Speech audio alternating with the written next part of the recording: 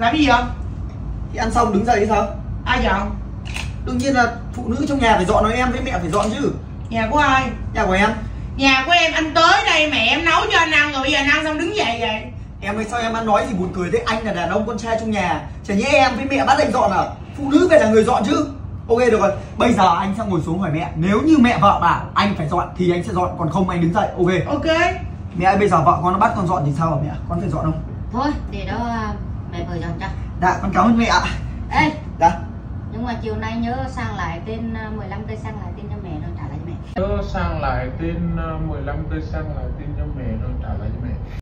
Mẹ ơi phụ nữ trong nhà không bao giờ phải dọn hết ạ mấy cái bát đĩa này cứ để con mẹ đứng dậy đi. Đứng dậy ăn trái cây đi để cho thôi để đi mẹ. dọn cho em em với mẹ đứng dậy đi. Mẹ đứng dậy mẹ mẹ mẹ đứng dậy ăn trái cây đi.